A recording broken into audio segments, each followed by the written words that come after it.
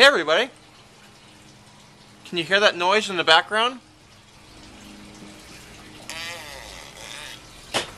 Not that noise. My aquaponics system. I'm going to give you guys a quick update of what it looks like since I got it running now.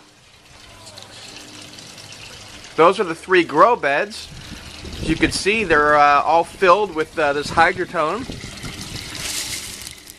And uh, each bed is uh, pouring with water, filling up, and underneath you can see that's the uh, drain pipe for the one grow bed, for the second one, and for the third one.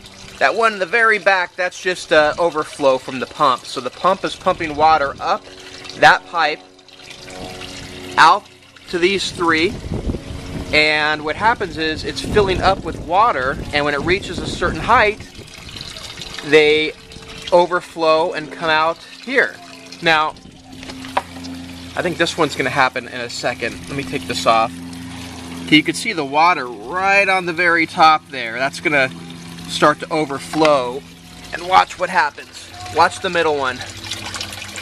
You can see it start to pour and then it goes slow and then the siphon kicks in and it just starts pouring out.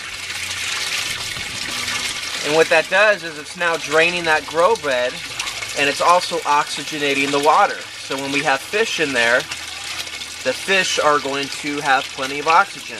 Now I believe this one's going to start in just a second. So let's look up here and see.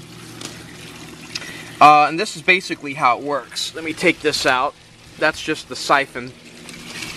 So if you see in there, the water's filling up and it's going to hit it's going to start to uh, overflow into this this little pipe.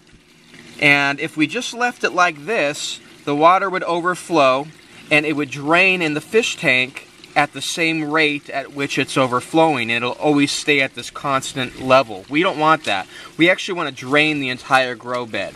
So by putting this little uh, siphon over the top of it like this, that'll uh, create a siphon. So when the water starts to drain, it gets pulled through. And I, I can also show you, uh, you know, when you plant, all you gotta do is move these aside. And underneath here, it's all kind of moist and wet because it just fills up with, uh, with water. So to plant, you just kind of stick things in there. And uh, in fact, I'll just we'll watch this last one uh, kick in and then we'll just end the video. So you'll see any second now, it, you'll start to see just a little pour, maybe a little bit of drippage coming out of here. This one's still going.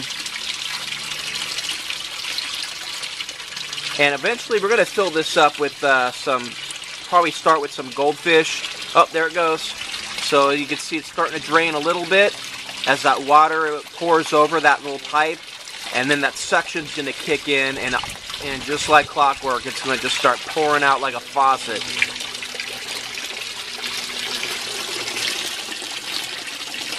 Not yet. There it goes. And it'll just keep going like that. This one's starting to slow down and then it'll eventually stop just like that one over there and that keeps going on and on. And the great thing about it is it's a closed system, so that's not using any any water. It's just recycling water over and over again. All right, that's it for my aquaponics update. Hope you liked it. Talk to you later.